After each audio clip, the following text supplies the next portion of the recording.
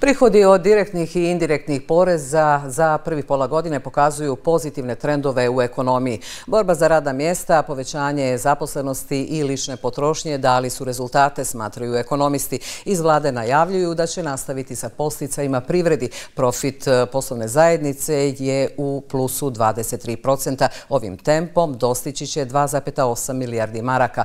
To bi za posljedicu trebalo da ima i rast plata. Direktni porezi pokazatelj su privredne slike indirektni potrošnje stanovništva, plus u odnosu na raniji period obećavaju buduće veći rast, smatraju ekonomisti. Kažu, ako je prošle godine izazov bio kako upravljati ekonomijom u padu, sada se traži odgovor kako upravljati kada raste. Ekonomski rast i rast profita i rast prihoda, rast izvoza mora da prati rast plata, jer ovaj samo unutrašnja tražnja generiše novu investiciju uh, i, i nova radna mjesta. U posljednje dvije godine u Republici Srpskoj plata je rasla za više od 5 od 100. Tome su doprinile i mjere vlade. Jedna od njih je i posticaj poslodavcima koji povećavaju lični dohodak radniku. Od jula 2019. do kraja prošle godine za ove namjene izdvojeno je oko 13 miliona maraka.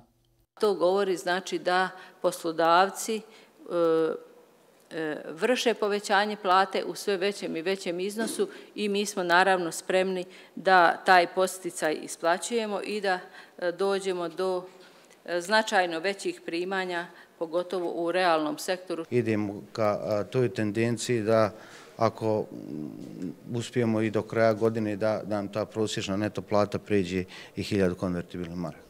Analizom sindikat i akademska struka došla je do iznosa ličnog dohodka koji bi u ovom trenutku spriječio odlazak radne snage sa ovih prostora.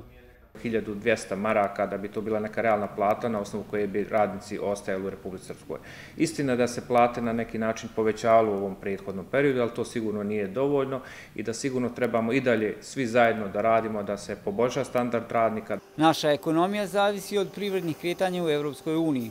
Jasno je da generisanje tražnje u Evropskoj uniji iziskuje i rast broja zaposlenih i rast industrijske proizvodnje i svih e, djelatnosti koje djeluju u Republike Srpskoj, zato što smo mi bitno zavisni od tržišta i kretanja u Evropskoj uniji troškovi transporta su povećani, komplikacija transporta je također uh, uvećana i mislim da postoji strateško opredeljenje Evropske unije da oni neke kapacitete uh, postave uh, blizu svojih granica, tako da se tu može profitirati.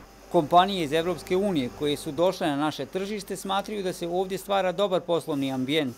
Mislimo da ćemo na ovoj lokaciji, stvari da će male u Republikoj Srpski, imati proširenje, značajne proširenje naredne dvije godine, jer ambicije naše kompanije su velike, a to sve dolazi iz tržišta.